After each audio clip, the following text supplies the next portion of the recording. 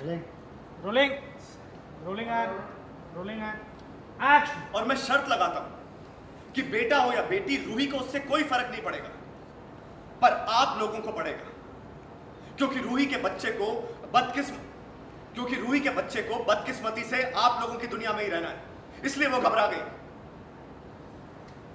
Well done आप लोग ऐसे ही अपनी बहू बेटियों के दिमाग में बेटा अपना बेटी पराई का भूसा भरते रहिए और इन ढोंगी बाबाओं का बिज़नेस चलता रहेगा एक होने वाली मम्मा सौ तरह के फ़िज़िकल और मेंटल इश्यूज़ से गुजरती है लेकिन ये काफ़ी थोड़ी है। एक औरत सोसाइटी का पंचिंग बैग है। अब उसे इस चीज़ की भी टेंशन लेनी है कि उसे लड़का होगा या नहीं। अरे सब्सक्राइब करें इंडिया फोरम्स हिंदी को और घंटी के निशान को दबाएँ ताज़ा खबरों के लिए। मम्मा सौ तरह के फ़िज़िकल और मेंटल एक होने वाली मम्मा सौ तरह के फ़िज़िकल और मेंटल इश्यूज़ से गुजरती है लेकिन ये काफ़ी थोड़ी है। एक औरत तो सोसाइटी का पंचिंग बैग है जिसे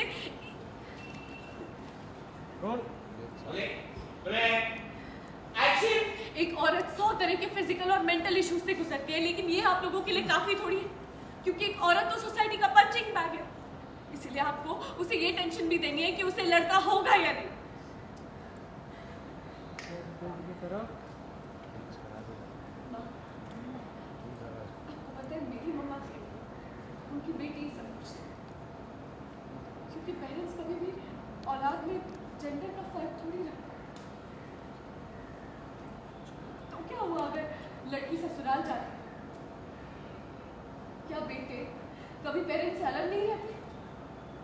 क्या बेटे दूर जाकर काम नहीं करते क्या वो शादी के बाद अलग पेरेंट्स से दूर सेटल नहीं होते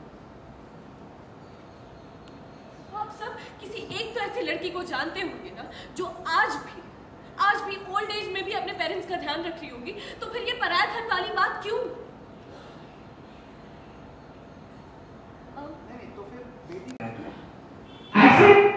आप सब लोग एक तो ऐसी लड़की को जानते होंगे ना जो ओल्ड एज में भी अपने पेरेंट्स का ध्यान रख रही तो फिर लड़की पराया धन कैसे हुई?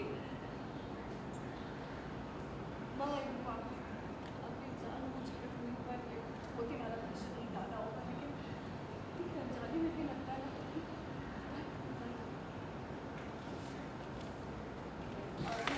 पूछ लेती। पराया टाइप की सौ साल पुरानी बातों को प्लीज़ रिटायर कीजिए। और जाने अनजाने में होने वाले पेरेंट्स का दिमाग खराब करना बंद कीजिए प्लीज़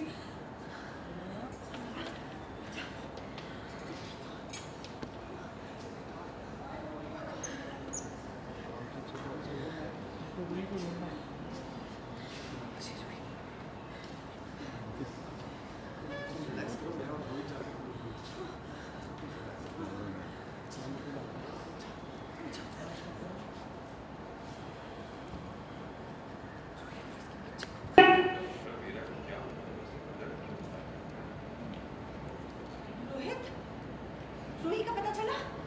चीफ का एक्सीडेंट हो गया क्या?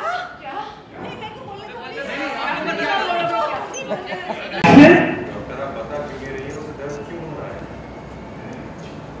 ट्रिंग ट्रिंग ट्रिंग ट्रिंग रोहित का पता चला बेटा एक्सीडेंट हो गया माँ।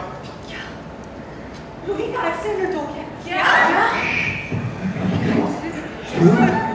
अमीरा तुम्हें अमीरा ने कुछ सुना नहीं निकाल रही है लेकिन अरे मैं आपको निकाल दिया है अरे अरे आप मत कीजिए वो रूही का एक्सीडेंट हो गया क्या सुन डॉक्टर रोकने की कोशिश की